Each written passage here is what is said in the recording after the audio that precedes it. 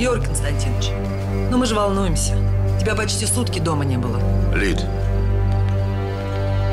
давно хотел тебе сказать, не лезь, а? Шурка-то знает, что ты у нее был. Не лезь.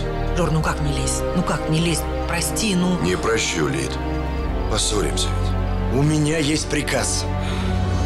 Сопроводить тебя по месту жительства, а сюда прописать других людей. Георгий Константинович знает об этом. Георгий Константинович ничего не знает и знать не должен.